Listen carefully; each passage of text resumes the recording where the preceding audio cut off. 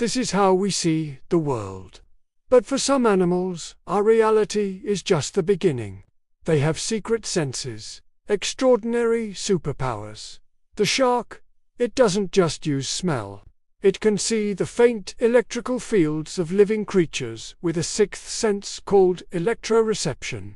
To a shark, there is no hiding.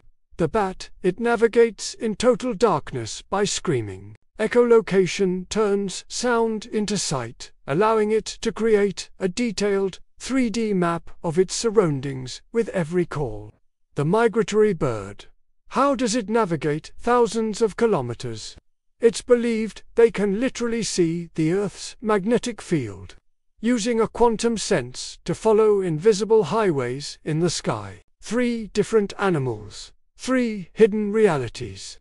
A powerful reminder that what we perceive is only a tiny fraction of what is real.